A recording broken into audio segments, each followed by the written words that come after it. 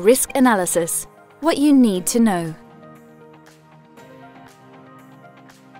From the 1st of January 2021, the Food Standards Agency and Food Standards Scotland will be taking over responsibility for food safety risk assessment and providing risk management advice. Our risk analysis process uses science and evidence to underpin our advice to government, business and consumers on food safety risks.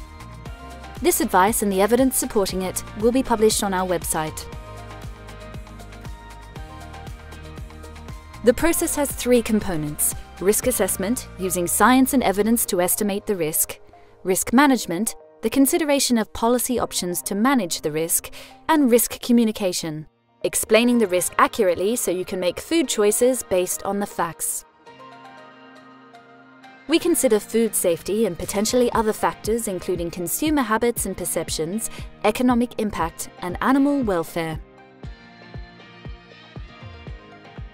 We work with devolved administrations and other government departments to ensure all relevant interests for food and agriculture, health and trade are considered.